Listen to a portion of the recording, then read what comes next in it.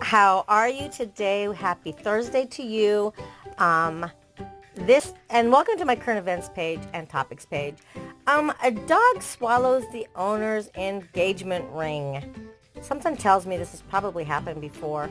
In Pretoria, South Africa, even when dogs make the biggest of mistakes, they're still good boys, right? One woman in South Africa now has a good story to tell after her dog swallowed her engagement ring. The Valley Farm Animal Hospital cared for the pointer named Pepper after the incident. Do I look a little nauseous? The hospital wrote with photos of Pepper. That's because the vet has given me something to make me um, vomit. Not because the vet is a meanie, but because I ate my mom's engagement ring. Don't ask. It seemed like a good idea at the time.